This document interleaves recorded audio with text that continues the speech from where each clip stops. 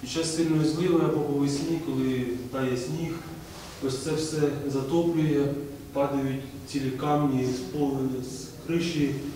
Тут просто ріка, і вона стікає людям до квартири через східні двері.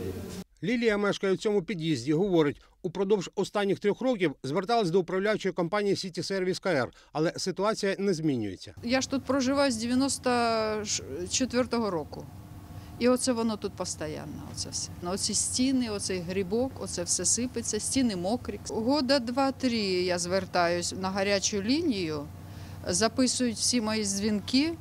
От, і е, відповідь там один: за що нема коштів, то ще щось. Наприкінці минулого року, каже Ірина, приїздила бригада ремонтників від управителів. Жінка каже, пропонували їм виконати ремонт за кошти мешканців під'їзду. Два місяці назад, е, коли ми позвонили на гарячу лінію, вони е, відкачували це все. І я сказала, ми з- ну, зберемося грошми. Ні, це невозможно. Там е, треба такий ремонт необичний. Ну, Там треба підривати, і це все. Тобто ми це зробити не можемо. І все.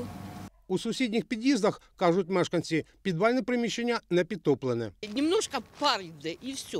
А так я на второму етажі ось живу, то в мене сухо, хорошо.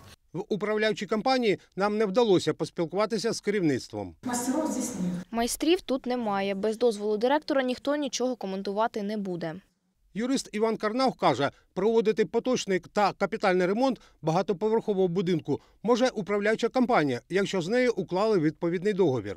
У такому випадку компанія не може відмовити у проведенні ремонтних робіт у зв'язку з їхньою складністю. Якщо виходить роботи за межі поточного ремонту, обслуговування, ну, наприклад, капітальна заміна труб, як в цьому випадку, яка потребує е, більш розширений перелік робіт, е, то в такому випадку е, здійснюється часткове відшкодування за рахунок управляючої компанії і е, частково за рахунок мешканців такого будинку. Яка сума необхідна для ремонту підтопленого підвалу та коли його проведуть? Із таким запитанням ми звернулись до директорки управляючої компанії Сіті Сервіс КР.